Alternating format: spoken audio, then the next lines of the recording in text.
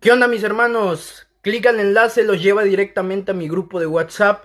Hoy vamos a aclarar por qué ya no subimos nada en su debido momento. Y quiero que entiendan...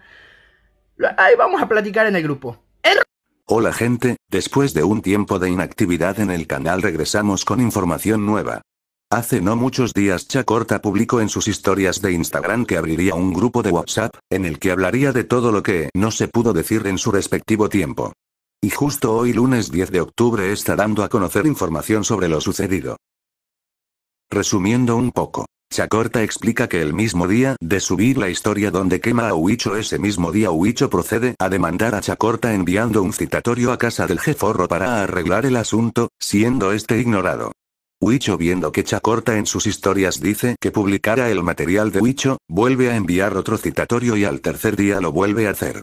Para este punto Chacorta no está en Chiapas, siendo que el jeforro es quien recibe los citatorios, haciendo que se enferme un poco. Al momento de la creación de este video.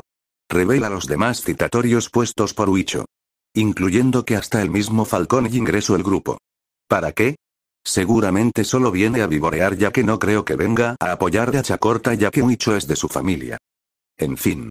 Esperemos no tenga problemas por esto ya que solo quiere limpiar su nombre.